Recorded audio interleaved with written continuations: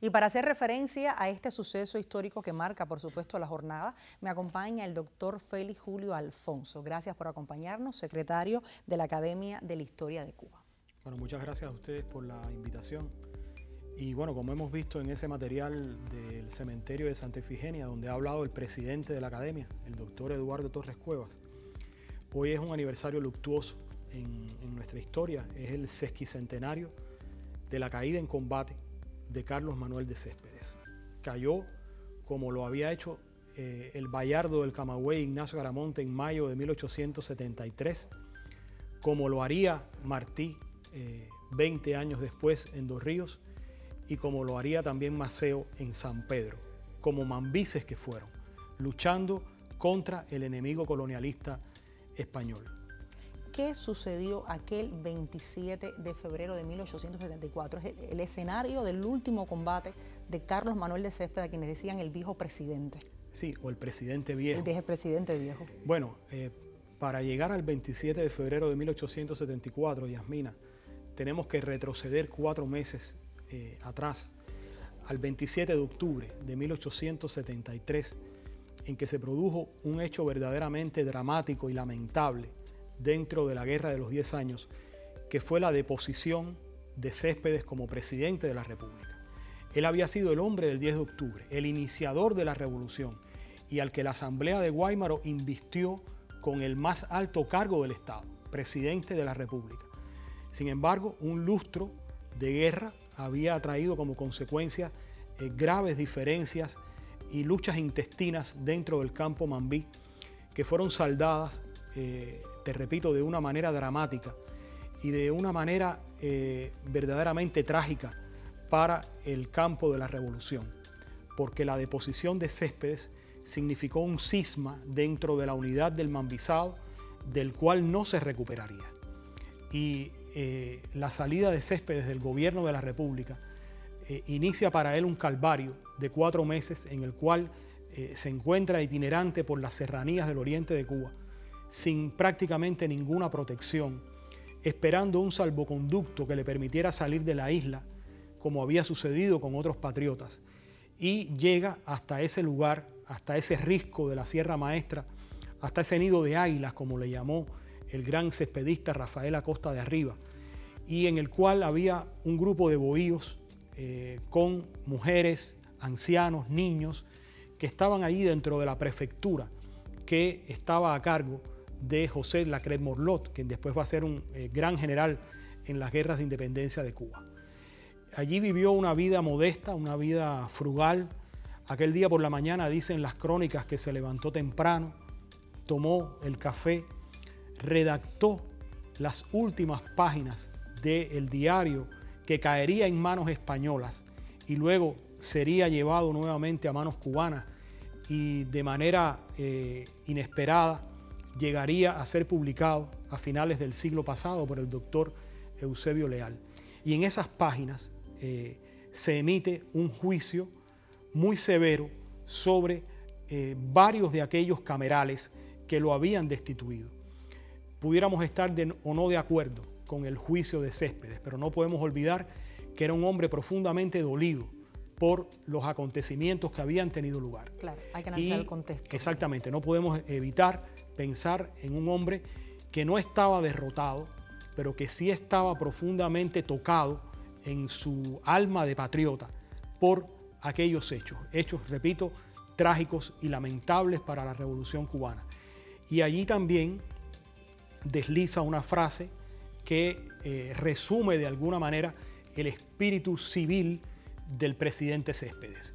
Y es cuando dice, cuando analizo la actuación de todos estos constituyentes, me doy cuenta que no saben lo que es la ley.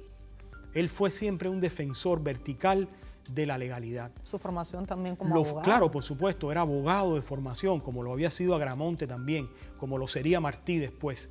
Entonces, era un intelectual, además, un profundo conocedor de las doctrinas liberales del siglo XIX, un demócrata, un republicano. Y cuando decimos un liberal no estamos diciéndolo en el sentido económico de esa palabra. Era un defensor de las libertades plenas del pueblo y un hombre profundamente demócrata. Entonces redacta esas páginas eh, postreras de su diario Dicen que todavía tuvo tiempo de jugar una partida de ajedrez, partida de ajedrez contra la muerte, pudiéramos pensar simbólicamente. Y luego tomó una comida frugal a media mañana y se fue al bohío, donde estaba la que era su compañera sentimental en ese momento, una joven eh, de apenas eh, unos pocos años, Panchita, que estaba embarazada y del cual tendría su último hijo que no conoció, como no conoció tampoco a los Imaguas que Ana de Quesada parió en Nueva York. Entonces, eh, él estaba dándole clases ahí a unos niños, en, ese, en ese lugar, en ese, en ese bohío, y fue allí donde lo sorprendió la llegada de las tropas españolas. ¿Qué pasó exactamente? Porque hay mucha polémica en torno a, estos acontecimientos y los historiadores sé que han estado indagando. ¿Cuál es la tesis más compartida? Bueno, mira, hay, hay un hecho que no podemos perder de vista. Se ha producido un desembarco en la costa sur de la Sierra Maestra de un grupo de tropas élites del ejército español, nada más y nada menos que las tropas de San Quintín. Y van directamente hacia ese lugar a hacer una operación quirúrgica. Es decir, no es que se trate de tropas que andaban merodeando por ahí. Sabían que ahí estaba Exacto, y que se dieron cuenta de casualidad. No, todo parece indicar que estaban buscando el lugar exacto donde se encontraba eh, Carlos Manuel de Céspedes, sabiendo además que su captura, vivo o muerto, hubiera significado un golpe mortal para la revolución, como efectivamente lo fue. Entonces, esas tropas llegan al campamento de repente, él sale corriendo del bohío, llevaba encima su revólver, porque había de alguna manera profetizado en una eh, premonición que, este, que ese día sería un día importante. Y lo fue, porque salió corriendo, pero salió disparando, disparándole a los soldados que lo perseguían. Y esos soldados llega un momento que frente a un barranco, uno de ellos le dispara casi a quemarropa y lo derriba por un eh, despeñadero de casi 8 metros. Y ese fue el último acto en su vida, morir disparando a un soldado español. Morir en combate. Morir en combate. Así me gusta recordarlo la muerte en combate de Carlos Manuel de Céspedes. Eh, me gustaría tener más tiempo para seguir hablando de, de Céspedes, es una fecha eh, significativa, pero quisiera en los últimos minutos eh, distinguir la figura de Céspedes. Yo creo que es una figura que debe seguir siendo más estudiada en nuestra historia y más cercana también en los libros de historia a nuestros niños, a nuestros jóvenes. ¿Cuál es la trascendencia de Céspedes? Ese hombre culto que usted hablaba, ese hombre preparado, más allá de la acción fundacional del 10 de octubre.